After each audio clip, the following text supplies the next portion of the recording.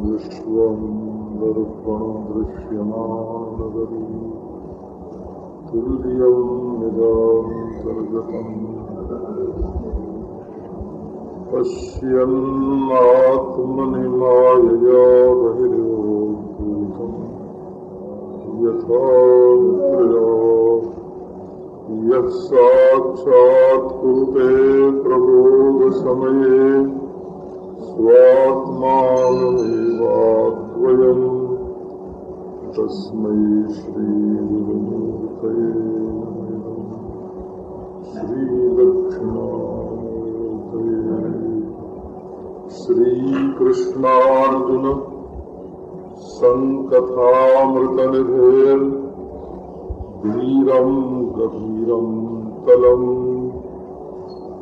तत्त्वान्वेषणतत्परैरधिगतम्।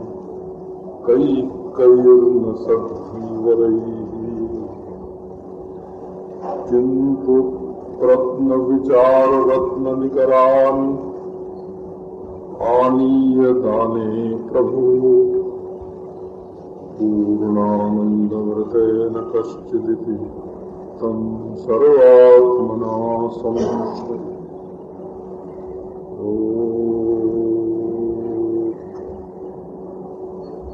पाना तो चाहे है ब्रह्म ज्ञान। ये ब्रह्म शब्द और भगवान शब्द दोनों एक ही अर्थ का वाचक है। ये तो जो कच्चे बच्चे लोग हैं, वो डरते हैं। ब्रह्मे भी, परमात्मे परमात्मेति भगवान शब्द थे एक ही तत्व है, उसका नाम ब्रह्म है, परमात्मा है, भगवान है। इसमें रामानुज मध्व निम्बार्क रामानंदाचार चैतन्य महाप्रभु बलदेव विद्याभूषण, सबने अथातो ब्रह्म जिज्ञासा का अर्थ और भगवान किया अपने अपने आराध्य देव को ही ब्रह्म कहते हैं, क्योंकि ब्रह्म सूत्र की व्याख्या तो सबने की है, और ब्रह्म माने रमा रमण ब्रह्म माने पुरुषोत्तम ब्रह्म माने नारायण, ऐसे ही सबने किया। तो ब्रह्म शब्द सुन के घबराना नहीं है। ये तो बच्चों की बात है। उससे अपने आचार्यों का ही विरोध हो जाता है। मैंने जिस आचार्य के तुम अनुयायी हो, उसी का विरोध हो जाता है यदि तुम ब्रह्म शब्द सुन के घबराते हो। निम्बार्क भी ब्रह्म सूत्र का व्याख्यान करते हैं। उनका वेदांत कौस्तुभ है। बड़ा भारी श्री रामानुजाचार्य का श्री भाष्य है, वल्लभाचार्य का अनुवाद है। बलदेव विद्याभूषण का गोविंद भाष्य है। अब इनसे, इन आचार्यों से बढ़ के तुम थोड़े हो गए कि वो तो ब्रह्म माने अपना इष्ट देव मानते हैं, है? और तुम ब्रह्म माने कूड़ा कबाड़ा मानते हो तो इससे अपने आचार्यों का भी तिरस्कार होता है। मध्वाचार्य के तो दो भाष्य हैं ब्रह्म सूत्र पर। तो सब आचार्य तत्व को एक ही मानते हैं। तो चाहो तो ब्रह्म का साक्षात्कार नहीं तो भगवान का प्रेम भगवान से मिलना।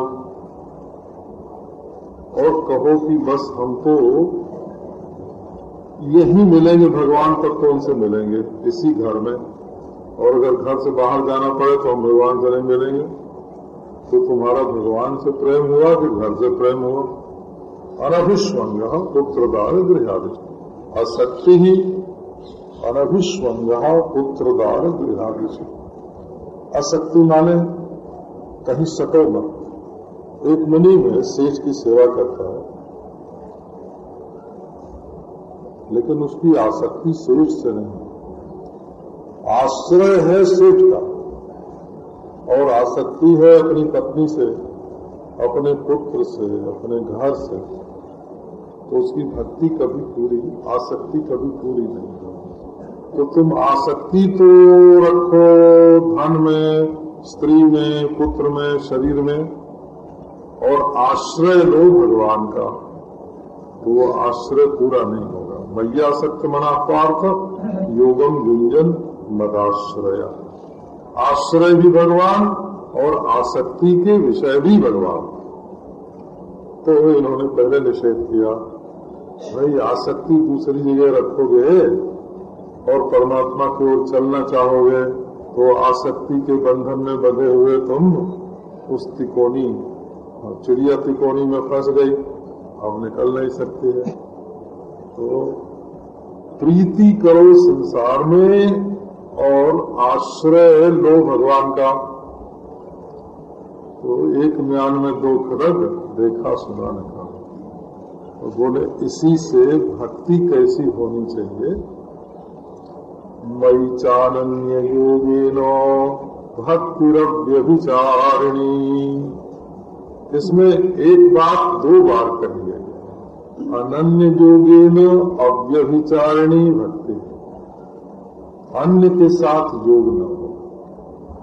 पतिव्रता तो वही है ना, जिसका अपने पति के सिवाय और किसी से योग नहीं होता। है और यदि दूसरे से योग हो गया तो अन्य योग हुआ तो बोले व्यभिचारिणी हो गई। तो भक्ति कैसी चाहिए कि जिसमें अन्य योग न हो, व्यभिचारिणी न हो माम तो जो व्यभिचारे न, भक्ति जो है न सेवक है। तो वो भक्ति किससे होगा? भगवान से। भजनम भक्ति। प्रेम पूर्वक भगवान का सेवन इसका नाम भक्ति सेवा में प्रेम भी चाहिए। बिना प्रेम की सेवा सेवा नहीं होती है। सेवा में प्रेम। सेवा होती है शरीर से, वाणी से। तो मन में होनी चाहिए प्रीति। तो प्रीति पूर्वक जो सेवा है, उसका नाम भक्ति। भज, सेवायाम। प्रीति विशिष्ट सेवा वृत्ति का नाम भक्ति है।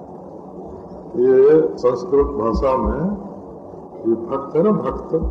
भक्त शब्द का अर्थ है भक्ति ही अस्यास्ति। भक्तिमान। भक्ति अस्यास्ति इति भक्ता। ये मत्वर्थी अच प्रत्यय है। मान भक्त का अर्थ होता है भक्ति वाला। हो गया भक्त। और एक शब्द बनता है भक्तम। तो भक्तम माने होता है हाथ वो देखो भक्तम का अर्थ होता है भात और भक्त का अर्थ होता है भक्तिमान भक्ति वाला भक्ति अस्यास्ति इति भक्त। भज्यते स्म, भंजो आवर्धने। भज्यते स्म, जो कूटा जाता है वो। क्या छवि है इस हाथ की? जो मूसल से कूटने पर और छिलका छोड़ के चमक गया, उज्जवल हो गया। मार पड़ने पर, मार पड़ने पर जो अपना सच्चा स्वरूप प्रकट करता है देखो, टूटा नहीं टूटा नहीं, ज्यो का त्यों छिलका निकल गया। तो पकाते हैं तो परिपक्व होने की पहचान क्या है कि उसमें अहंकार का कड़ापन न हो। जैसे भक्त है ना, भक्त? तो उसमें अहंकार नहीं है। तो चावल में कण नहीं है, वो किनका नहीं है। भक्त भात जो पका, उसमें किनका नहीं होना चाहिए। रसीला होना चाहिए, मीठा होना चाहिए, मधुर और कोमल होना चाहिए। और देखो, अभिमान का कण कणम न होने पर भी, कणिका न होने पर भी भात मिलना नहीं चाहिए, वो आपस में। अलग अलग अलग। तो छिलका निकल गया है चौकर निकल, और उसकी लाली निकल गई है, भूसी गई, लाली गई, जो कड़ापन था वो पक गया, कोमल हो गया अभिमान की कणिका नहीं रही और मधुर है, कोमल है, मधुर है तो हुआ भक्ता भज्यते इसमें।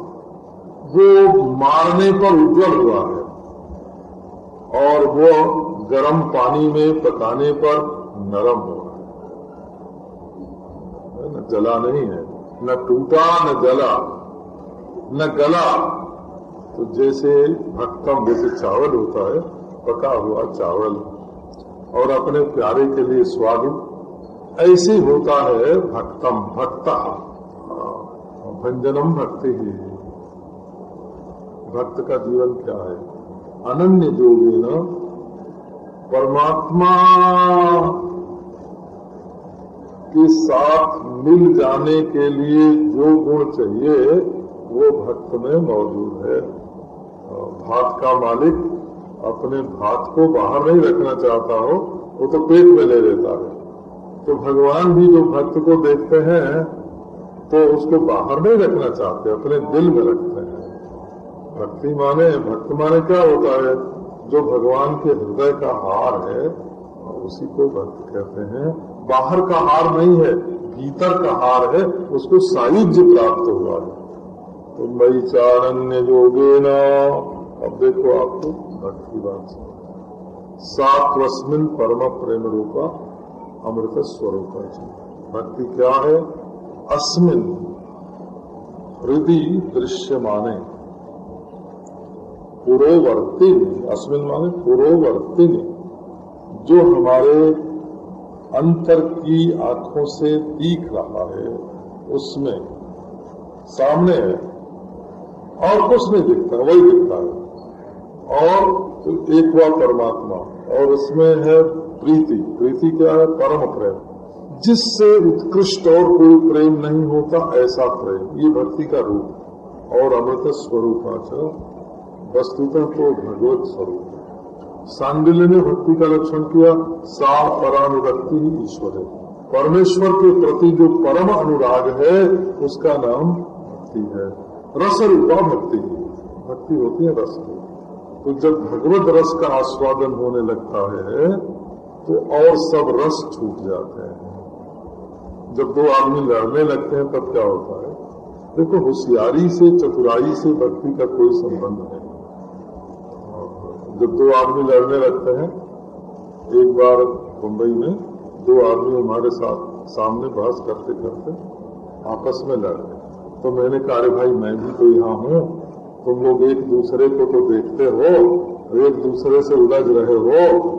मैं भी तो यहाँ हूँ, जरा हमको भी देखो, हम भी यहाँ हैं।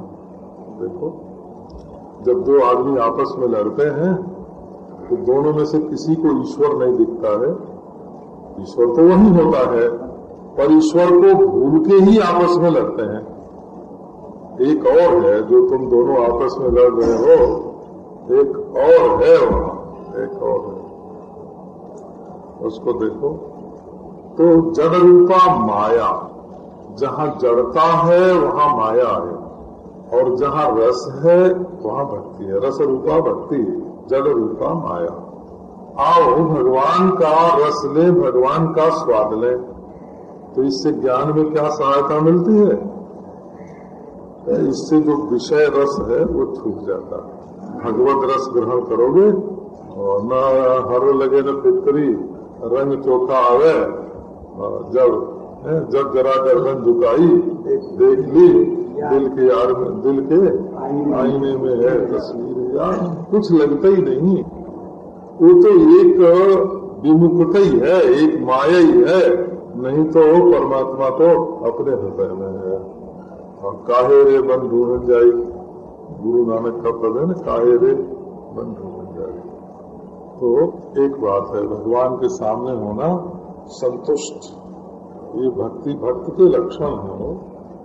उसमें एक देखो, केवल भक्त भगवान से प्यार करता है, ऐसा नहीं। भगवान भी भक्त से प्यार करता है। जो मत भक्त इसका अर्थ हुआ भक्त भगवान से प्यार करता है और स में प्रिया माने भगवान भक्त से प्यार करता है। आपका ध्यान जाता है ना? भक्त भगवान की भक्ति करता है और भगवान भक्त को प्रिय रूप में देखते हैं। माने भगवान का प्यार भक्त से है, भक्त का प्यार भगवान से है। दोनों आपस में दो चकोर, दो वो उनको देख के खुश होते हैं, वो उनको देख के खुश होते हैं। भगवान को देख देख के भक्त निहाल हो रहा है और भक्त की भक्ति देख करके भगवान निहाल हो रहा है। ये भक्त है वो, इसमें भगवान को देखो। एक तो द्वेष की आग नहीं जल रही है। वो स्वामी जी ने एक इसमें जो संभाल की है, उस पर ध्यान देना चाहिए। अद्वेष्टा। किसी के प्रति द्वेष नहीं है। सर्वभूतानाम अद्वेष। किसी भी प्राणी से द्वेष नहीं और सर्वभूतानाम मित्र। सबका मित्र है। और यदि कोई दुष्ट है, यदि कोई भगवान से विमुख है तो भागवत का कहना है कि उसकी उपेक्षा कर दो। प्रेम मैत्री कृपोपेक्षा जब करो थी समध्यमा उपेक्षा कर दो। योग दर्शन में भी कहते हैं कि वो है ना मैत्री करुणा मुदिता उपेक्षा। उपेक्षा कर दो। यहाँ देखो भगवान श्री कृष्ण क्या संभालते हैं, है ना? उपेक्षा का तो नाम ही नहीं है। अद्वेष्टा सर्वभूता नाम मैत्र करुण भक्त के हृदय में करुणा ही करुणा। वो जब किसी विमुख जीव को देखता है, या नष्ट भ्रष्ट को देखता है तो भक्त के हृदय में करुणा आती है। हे प्रभु, ऐसी कृपा करो कि इसका मन भी आप में लग जाए। वो करुणा से द्रवित हो जाता है। उपेक्षा किसी की नहीं करता है। उपेक्षा ही नहीं। भक्त, क्या अपने भगवान की उपेक्षा करेगा? सबके हृदय में भगवान है तो वो किसी की भी उपेक्षा करेगा, किसी से द्वेष करेगा तो भगवान से द्वेष होगा, भगवान की उपेक्षा होगी। करुण वचन ममता किसी से नहीं, अहंकार नहीं, सुख दुख में समान, क्षमावान, हर समय संतुष्ट से। मालिक के सामने जाए और रोना चेहरा लेके जाए तो मालिक को अगर हंसना भी हो तो रोते हुए सेवक को देख करके कैसे हंसेंगे? वो तो उपहास हो जाएगा ना। तो आप जब अपने मालिक के सामने असंतुष्ट होकर के जाते हो है? तो भगवान की मुस्कान में बाधा डालते हो। अरे वो तो मुस्कुराता रहे। प्रभु तू जीवे मैं मर जाऊँ। भक्त लोग तो कहते हैं कि प्रभु तू जीता रहे मैं मर जाऊँ। और हम रोए और तुमको भी रुलावे ये कोई भक्ति हुई? तो संतुष्ट सततम। ऐसा कैसे होता है? बोले जो भी हर समय भगवान से, उसका मन भगवान में एकाग्र रहे। योगी माने एकाग्र मना। युक्त भगवान के साथ मिला है, हमेशा भगवान की गोद में है। गोविंद परिरंभिता भागवत में प्रहलाद जी का वर्णन आया है। प्रहलाद को ये मालूम पड़ता है कि भगवान ने हमको अपने हृदय से लगा रखा है। उसको खाना, पीना, उठना, बैठना कुछ भाषता ही नहीं। गोविंद परिरंभिता ये हम तो भगवान की गोद में है। भगवान ने हमको हृदय से लगा रखा, हमारे सिर पर हाथ रखा, हमको प्यार किया, हमको अपने हाथ से खिलाया भगवान ने, है? तो शरीर की रसोई भूल गई, योगी अरे भाई ये तो हमारी अवस्था नहीं होती। बोले, यथात्मा, प्रयास करो। इसके लिए प्रयत्न करो। अरे महाराज, प्रयत्न भी नहीं होता है, बाधा पड़ती है। बोले, दृढ़ निश्चय निश्चय दृढ़ करो तो तुम्हारा प्रयत्न चालू रहेगा। प्रयत्न चालू रहेगा तो जोगी हो जाओगे। जोगी बनोगे तो बड़ा संतुष्ट रहोगे। बोले, निश्चय ही तो नहीं होता है ना। भगवान के मांगने पर भी हो। उन्हीं की चीज़। उन्होंने हमको एक चीज़ दी। तो देखा कि वो चीज़ रख के हम अपनी मान के बड़े दुखी हो रहे हैं। उन्हीं की दी हुई चीज़। है और उसको अपनी मान के हम दुखी हो रहे हैं। तो मांगने आए तो बेटा तुम्हारे पास रख गया था, वो हमको दे तो दो। तो बोले कि नहीं, ये तो मेरी है तुमको नहीं देंगे। तो मांगने आए। मैं ये वो मना आदर्श मई बुद्धि न वैसे अपना मन और बुद्धि मुझमें दे दो। बहुत बढ़िया। तो मन कैसे दें? रुपया पैसा हो तो आपको दे दें महाराज। लड्डू पूरी हो तो दे दें, किताब हो तो दे दें। आपको अपना मन कैसे दें? अरे भाई, हम तुम्हारा मन नहीं लेते हैं। है ना? सत्राजित से श्री कृष्ण भगवान ने कह दिया कि मणि तो ये वास्ता है ना ये मणि तुम रखो। तब केवल वयम तो फल भागना है इसमें से जो रोज आठ भार सोना निकलता है, है? वो हमारे पास भेज दिया करो और मणि तुम रखो है ना? क्या मतलब हुआ? कि मन में आता है प्यार। तो भगवान कहते हैं मन तुम्हारे हृदय में जहाँ है वहीं रहे। है ना? ये अपने मन का मणि अपने शरीर में रहने दो। उसको निकाल के रुपए की तरह थैली में से निकाल के देने की ज़रूरत नहीं है। तो मन में जो प्यार है, वो हमको दे दो। अच्छा बुद्धि कैसे दे महाराज? बुद्धि कोई रुपया तो नहीं है कि निकाल के दे दें। कोई लड्डू नहीं है, कोई फल फूल नहीं है कि बुद्धि निकाल के दे दें। अरे बाबा, बुद्धिमान वह तो। तब तब दे कैसे? कब बुद्धि में जो विचार आते हैं वो मेरे लिए आए प्यार का मुँह भगवान की ओर हो जाए और विचार का मुँह भगवान की ओर हो जाए तो निश्चय दृढ़ कैसे होगा कि जब हम अपने मन में जब जब प्यार आवे, स्त्री का प्यार आवे, पुत्र का प्यार आवे, धन का प्यार आवे, सगे संबंधियों का प्यार आवे वो जोड़ो भगवान। है तात, मात, गुरु, सखा तू सब विधि ही तू मेरो। तो ही मोहिनाते अनेक मानिए जो भावे। ज्यो त्यों तुलसी कृपा चरण शरण पाए किसी के प्रति जो जीवन में प्यार है, वो प्यार भगवान के साथ जुड़ जाए एक, दूसरे जो विचार है तो विचार किसका करते हो? दुश्मन का करते हो? षडयंत्र का करते हो? धन का करते हो, स्त्री का करते हो, धन का करते हो, नास्तिक का करते हो बैरी का करते हो, किसका विचार करते हो? तो बोले कि बाबा, हमारे बारे में, और तुम्हें साकार का विचार करना हो, साकार करो? और निराकार का करना हो, निराकार का करो। निर्गुण का करना हो, निर्गुण का करो।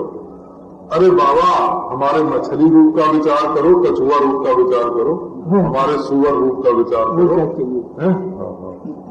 ये कपिलोपदेश में है वो। एक पतिव्रता पत्नी अपने पति को भगवान मानते हैं। तो उनको पानी में तैरने का बड़ा शौक।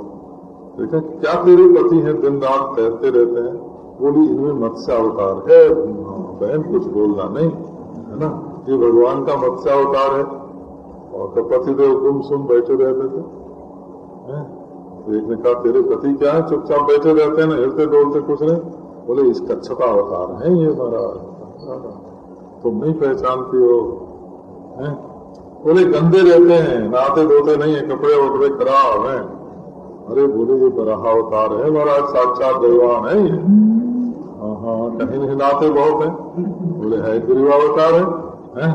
तो जब देखो जब गरजते रहते हैं तो नरसिंहावतार है। हाँ, हाँ।